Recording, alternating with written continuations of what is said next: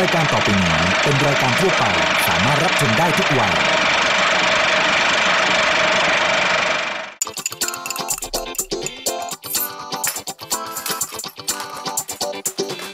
กินได้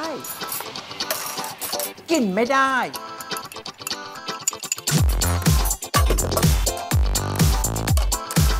กินได้ ก็กิน กินไม่ได้ก็เททิ้งไปสิ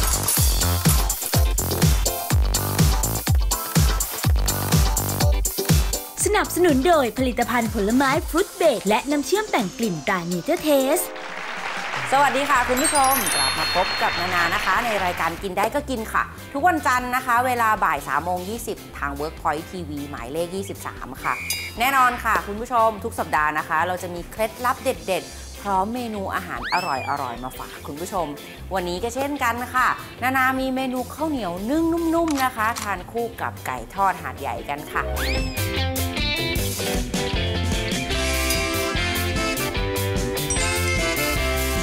หลายคนบอกว่าเวลานึ่งข้าวเหนียวเสร็จแล้วเนี่ยโอ้โหนึ่งยังไงข้าวเหนียวก็ไม่สุกพอเวลานุ่มนุ่มเฉพาะตอนสุกใหม่ ๆ ทิ้งไว้แป๊บเดียวก็แข็งกระด้างแล้ว วันนี้เรามาแชร์เคล็ดลับกันค่ะ เริ่มตั้งแต่การแช่ข้าวเหนียวเลยนะ ขั้นตอนแรก เราจะเอาข้าวเหนียวของเราเนี่ยนะคะ ไปล้างน้ำให้สะอาดก่อน เขาบอกกันว่าต้องล้างจนกระทั่งน้ำเนี่ยสีใสก็คือหมดสีแป้งเลยนะคะไปล้างข้าวเหนียวกัน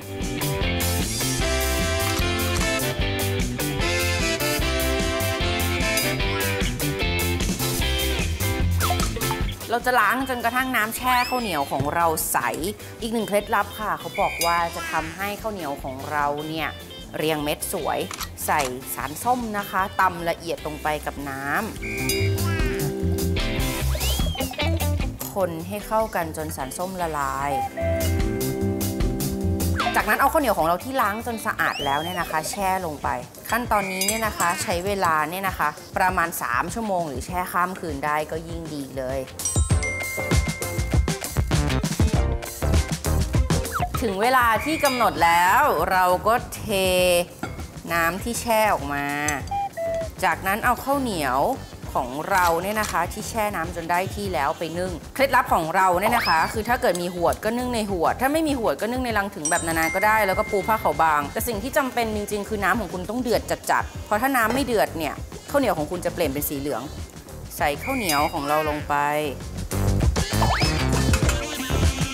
จากนั้นเอาใบเตยมัดปมของเราเนี่ยนะคะวางห่อข้าวเหนียวแบบนี้ เราก็นึ่งจนกระทั่งสุกค่ะ หลังจากข้าวเหนียวเราสุกแล้วเนี่ย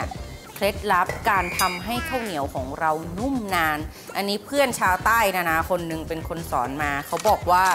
วิธีนี้ถ้าทำแบบนี้จะทำให้ข้าวเหนียวนุ่มได้นานโอเค ได้ข้าวเหนียวมาเสร็จเอาข้าวเหนียวใส่อ่างผสมของเรานำใบเตยออก จากนั้นเนี่ยนะคะ เราจะเอาข้าวเหนียวร้อนๆของเราเนี่ย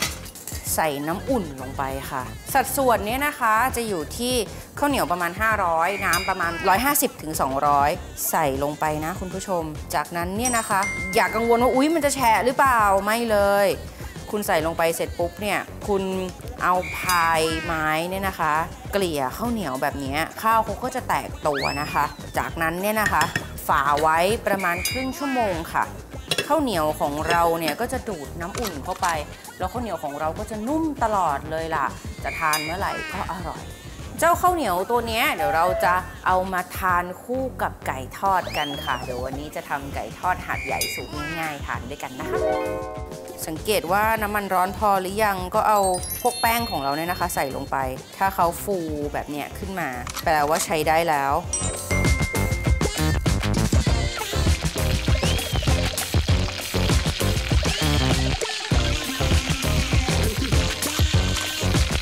พอไก่ของเราชิ้นไหนเริ่มเหลืองแล้วเนี่ย เราก็ตักขึ้นมา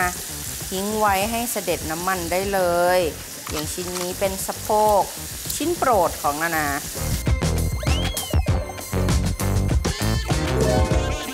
ช่วงอร่อยง่ายได้ใจสนับสนุนโดยโลโบช่วงอร่อยง่ายได้ใจ วันนี้เรามีเมนูแสนง่ายมาฝากค่ะกับเมนูก๋วยจับเจ ใส่น้ำลงในภาชนะนำขึ้นตั้งไฟ พอเดือดใส่เส้นก๋วยจั๊บลงต้มจนสุก เติมแป้งข้าวเจ้าละลายน้ำ คนจนส่วนผสมข้นขึ้นแล้วปิดไฟเตรียมไว้ วิธีทำน้ำพะโล้ก๋วยจั๊บ เทน้ำใส่ภาชนะนำขึ้นตั้งไฟ ใส่ผงพะโล้ตราโลโบและพริกไทยเม็ด รุงรสด้วยน้ำตาลปี๊บซีอิ๊วดำซีอิ๊วขาว และเกลือป่นเสริมไอโอดีน ต้มจนเดือด ใส่เต้าหู้ขาว เห็ดหอม และเต้าหู้ผงทอด ต้มนาน 30 นาทีแล้วปิดไฟเตรียมไว้ตักเส้นก๋วยจั๊บใส่ภาชนะสำหรับเสิร์ฟ ราดด้วยน้ำพะโล้ก๋วยจั๊บ พร้อมเต้าหู้ขาว เห็ดหอม และเต้าหู้ผงทอด วางฟองเต้าหู้ทอดกรอบ โรยไชโป๊หวานสับเจียว ตกแต่งด้วยช่อขึ้นช่ายให้สวยงาม พร้อมรับประทานค่ะ พียงแค่นี้ก็พร้อมรับประทานแล้วค่ะกับเมนูก๋วยจั๊บเจ เพียงแค่มีโลโบติดบ้านไว้ ไม่ว่าเมนูไหนก็เป็นไปได้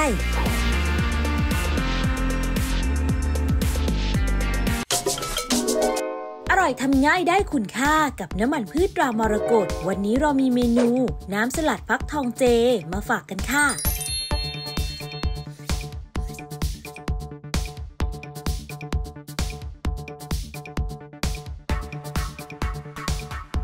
เริ่มจากใส่เนื้อฟักทองต้มสุก ใส่นมถั่วเหลือง ลงในโถปั่น ปั่นจนกระทั่งละเอียด เทส่วนผสมฟักทองลงในภาชนะ ใส่น้ำมะนาว เกลือป่นเสริมไอโอดีนและน้ำส้มสายชู ใช้เครื่องตีแบบมือถือ ตีจนส่วนผสมทั้งหมดเข้ากัน ค่อยๆ เติมน้ำมันเมล็ดดอกทานตะวันตรามรกตตีให้เข้ากันจนน้ำสลัดข้นขึ้น ตักใส่ภาชนะ โรยงาขาวคั่วจัดเสิร์ฟคู่กับผักสลัด ครั้งหน้าน้ำมันพืชตรามรกตจะมีเมนูใดมาฝากคุณผู้ชม ก็ต้องรอติดตามนะคะ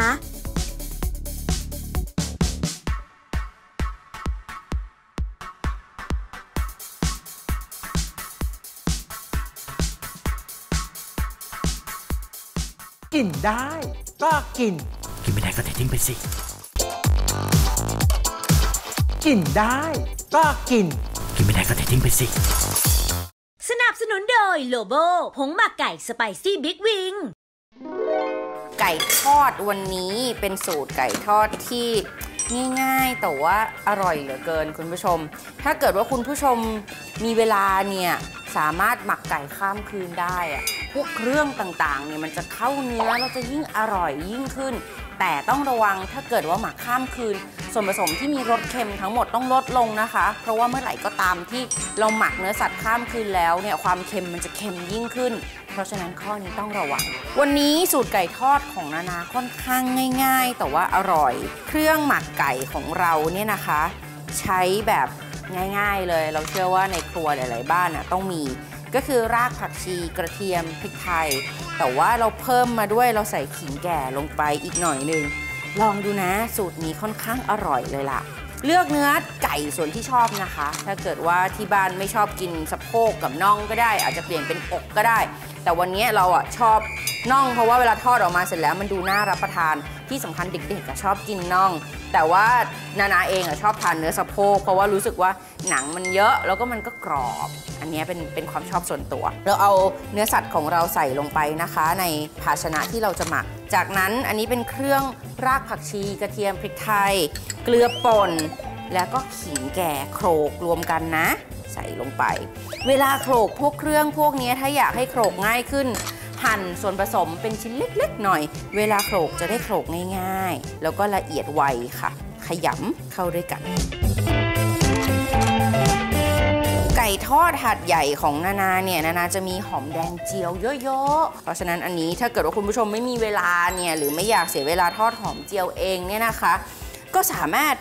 ซื้อหอมเจียวเป็นถุงๆได้ ปัจจุบันหอมเจียวค่อนข้างอร่อยแล้วก็กรอบด้วย จากนั้นเนี่ยนะคะ เราปรุงรสด้วยเครื่องปรุงรสเค็ม เรามีน้ำปลาแล้วก็ซอสปรุงรสค่ะ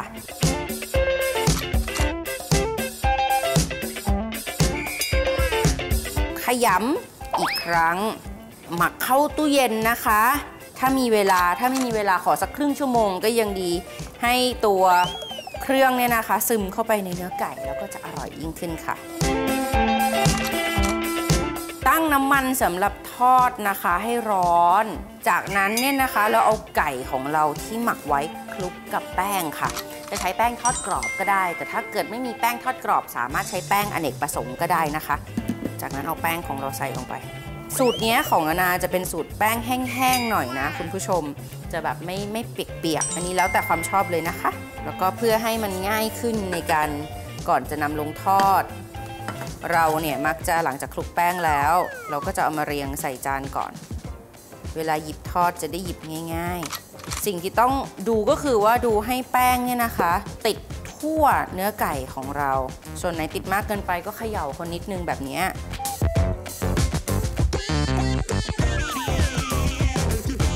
สังเกตว่าน้ำมันร้อนพอหรือยังก็เอาพวกแป้งของเราเนี่ยนะคะ ใส่ลงไป ถ้าเขาฟูแบบเนี้ยขึ้นมา แปลว่าใช้ได้แล้ว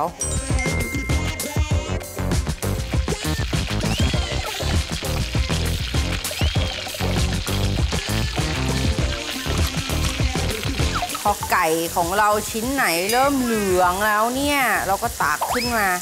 ทิ้งไว้ให้เสด็จน้ำมันได้เลย อย่างชิ้นนี้เป็นสะโพก ชิ้นโปรดของนานา หลายคนเนี่ยก็จะนิยมเอา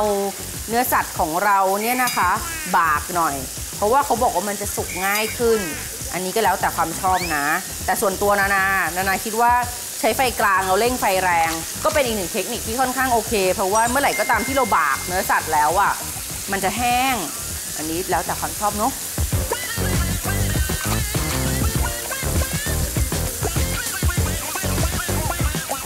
โอเค จากนั้นเดี๋ยวเรามาจัดลงจานเสิร์ฟกัน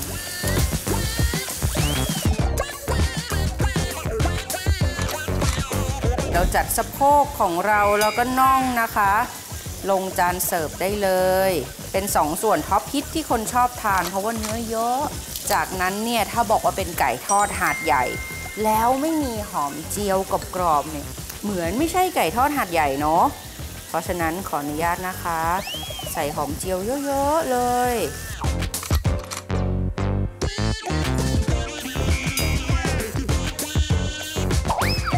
เรียบร้อยค่ะ ข้าวเหนียวนึ่งนุ่มๆ กับไก่ทอดถาดใหญ่กรอบกรุบๆ ของนานาเรียบร้อยแล้ว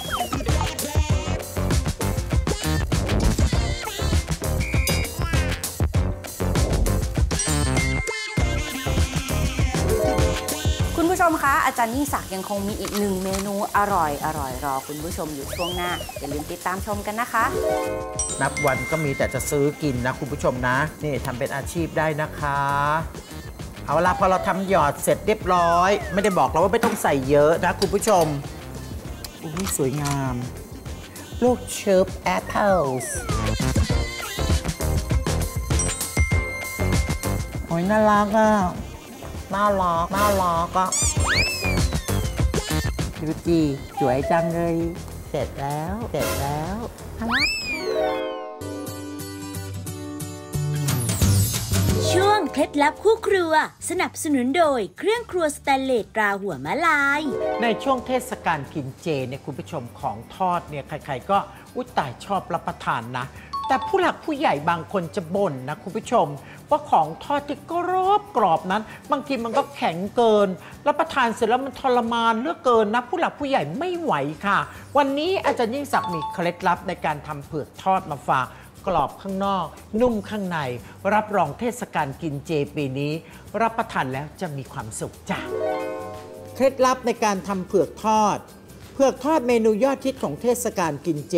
ไม่ว่าเดินไปไหนก็มีขายเต็มไปหมด แต่จะหาทานแบบอร่อยๆนี่ยากเลยนะ วันนี้เลยมีเคล็ดลับในการทำเผือกทอดมาฝาก เมื่อทานแล้วข้างในจะนุ่ม ข้างนอกจะกรอบ ชวนรับประทานมากๆเลย เริ่มจากนำเผือกขูดเป็นเส้น ใส่ลงภาชนะเตรียมไว้ ใส่แป้งสาลีอเนกประสงค์ลงภาชนะ แป้งข้าวเจ้า เกลือป่นเสริมไอโอดีน ผงพะโล้พริกไทยป่น เติมน้ำซีอิ๊วขาว คนให้เข้ากัน จากนั้นใส่ไชโปหวาน สับละเอียด ถั่วลิสงต้มสุก และเผือกที่ขูดไว้ ลงเคล้าให้เข้ากัน ตักส่วนผสมลงในถ้วยตะไลประมาณ3ส่วน4ของถ้วย จัดการนึ่งให้สุก ควรเลือกหม้อนึ่งที่สะอาดปลอดภัย ไร้สารปนเปื้อน อย่างชุดสุดซึ้งตราหัวม้าลาย ที่ผลิตจากสแตนเลสคุณภาพดี กระจายความร้อนได้ทั่วถึง นึ่งประมาณ 10 นาทีหรือจนกระทั่งสุก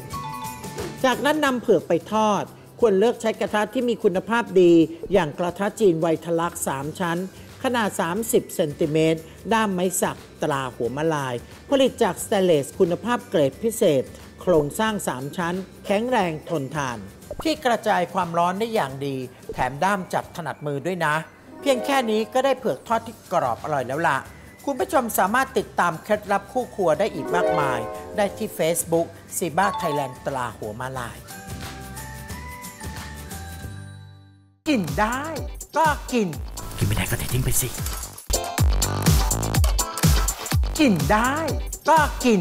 กินไม่ได้ก็เททิ้งไปสิ สนับสนุนโดยผลิตภัณฑ์เสริมอาหารตราซีเทรีย โดยแอนจักรพงศ์จากกราจุธาทิพย์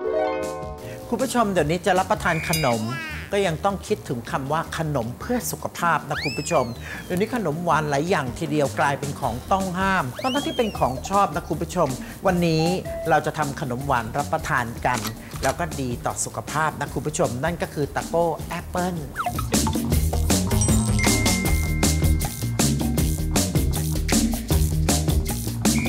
สำหรับตะโก้แอปเปิลเนี่ยคุณผู้ชมทำไม่ยาก เราก็แค่ใช้แอปเปิลคุณผู้ชมจะเขียวจะแดง หั่นเป็นชิ้นเล็กๆ อย่างนี้เตรียมไว้นะคุณผู้ชม แล้วเราก็ใส่น้ำลงไป อุ้ยต้องบอกนิดหนึ่งนี่คว้าปุ๊บหยิบฉวยง่าย อันนี้เป็นหม้อด้าม Vitalux 3ชั้นนะคุณผู้ชมสแตนเลสดีมากทีเดียว ตราหัวม้าลาย ขนาดเหรอ 18 เซนติเมตร ใส่น้ำลงไปเดี๋ยวนี้น้ำตรงน้ำตาลก็พยายามเลี่ยง ความหวานก็ใช้แบบประเภทที่เข้ามาสำเร็จรูป Apple Fruit Bake Preparation ตรา Nature Taste เสร็จแล้วเราก็ใส่เนื้อแอปเปิลสดที่จัดการหั่นไว้ใส่ลงไปเลย ตั้งใจจะให้น้ำของเราเดือด และแอปเปิลของเราก็สุกเลยพร้อมๆกัน แค่นี้เครื่องปรุงไม่เห็นมีอะไรเลย เดี๋ยวจะเป็นตะโก้ก็ใส่แป้งลงไปหน่อยนึง เพราะฉะนั้นคุณก็จะได้สารอาหารจากแอปเปิลสดเยอะมาก เอาละคุณผู้ชมส่วนผสมของเราใกล้จะเดือดแล้วแค่ส่วนผสมของเราเป็นตะโก้ แล้วก็ทรงตัว ก็คงจะต้องใส่แป้งถั่วเขียว ละลายน้ำลงไปสักหน่อยหนึ่งนะคุณผู้ชม หยอดลงไปเรื่อย ๆ ก็ต้องรีบคนเร็วๆนะคุณผู้ชมประเดี๋ยวมันจะจับตัวทรงตัวใสสวยแต่ก็นุ่มละมุนนะคุณผู้ชม พอใส่แป้งเสร็จคุณผู้ชมต้องมั่นใจว่าสุกเนี่ยคุณผู้ชมเห็นไหมเนี่ยเดือดปุ๊บปุ๊บปุ๊บปุ๊บแบบนี้เลย ก็แสดงว่าแป้งสุกเอาละเสร็จแล้วก็คนต่ออีกสักครู่หนึ่งนี่ไงถึงได้ต้องใช้หม้อด้ามคุณผู้ชมแล้วก็จับมันคนสะดวกเอาละเสร็จแล้วกำลังร้อนๆใช่ไหมเราก็ต้องเตรียมตัวตักหยอดลงไปในพิมพ์ที่เราต้องการจะใช้เสิร์ฟ วันนี้ขอเป็นแก้วช็อตใบน่ารักนะคุณผู้ชม เนี่ยตักนิดนึงแล้วคุณผู้ชมก็ใส่อย่าให้ถ้วยมันเลอะเทอะไปหมดละคุณผู้ชมต้องประณีต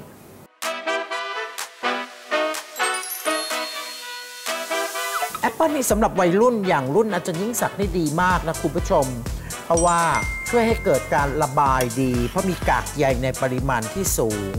และกลิ่นหอมของแอปเปิลเนี่ยดมเมื่อไหร่ก็สดชื่นเมื่อนั้นนะคุณผู้ชม เอาละเรามาทำส่วนของหน้ากะทิกันดีกว่านะ สำหรับส่วนของการทำหน้ากะทิของตะโก้ ต้องแนะนำคุณผู้ชมเป็นขวดนี้แล้วล่ะอัมพวากะทิอบควันเทียนขวดนี้ จะทำให้ตะโก้ของเรามีกลิ่นหอมหอมนะคุณผู้ชม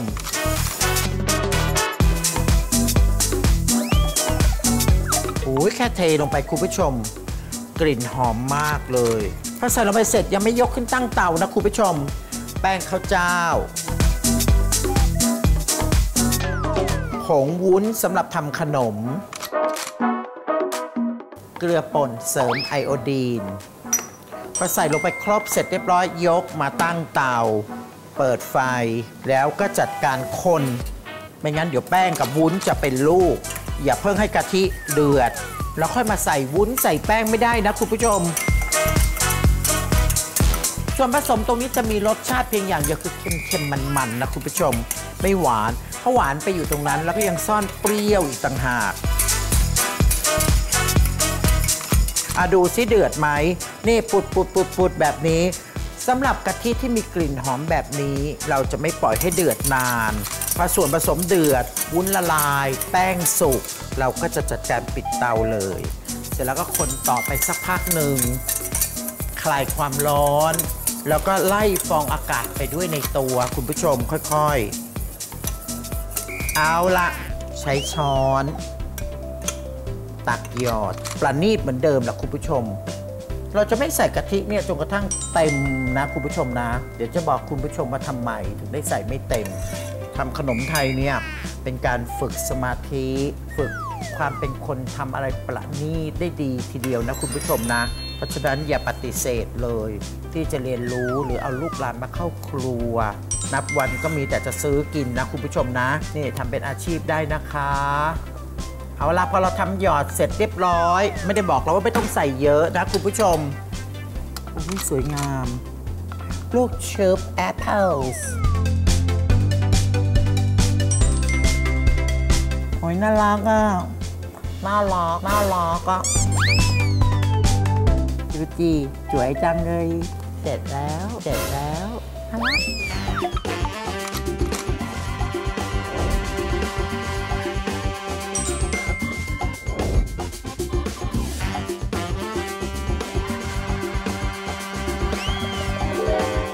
เห็นไหมคุณผู้ชม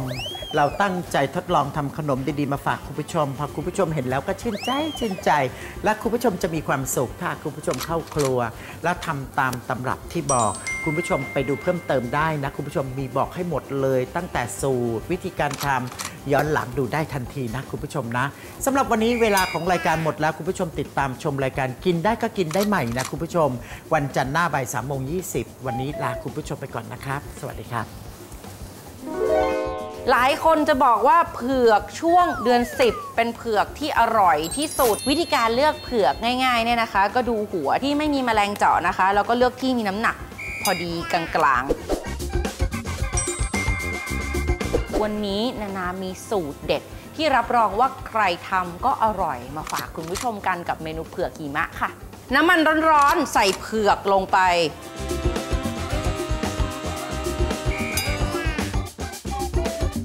ริ่มต้นก็ต้องทำกุ้งหวานก่อนคุณผู้ชมตำรับกุ้งหวานของอาจารย์ยิ่งศักดิ์เนี่ยรับประทานคู่กับบะหมี่แล้วอร่อยอร่อย วันนี้อาจารย์ยิ่งศักดิ์มีกุ้งแบบสีแบบหมูแดงมาฝากคุณผู้ชมนะ ผัดไปคุณผู้ชม กุ้งหวาน อุตส่าห์ตั้งใจทำงาขาวนิดนึงสิคะ